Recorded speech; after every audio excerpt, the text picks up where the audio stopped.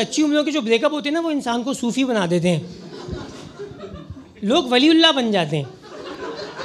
जब मेरा ninth class में पहली बार ब्रेकअप हुआ, भाईजन, मैंने मुसल्ले बिछा लिए।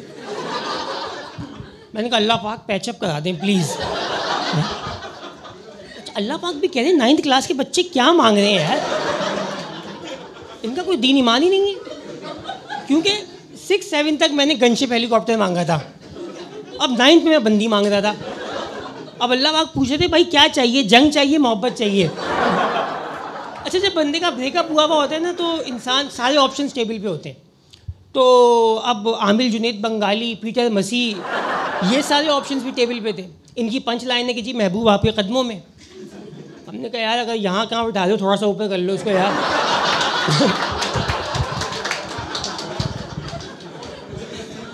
अच्छा महबूब का ना बड़ा चक्कर है। महबूब मेरे मोटर मैकेनिक का नाम भी है। वो कभी ना जब नीचे बैठता इतना बड़ा बिल बना रहा है।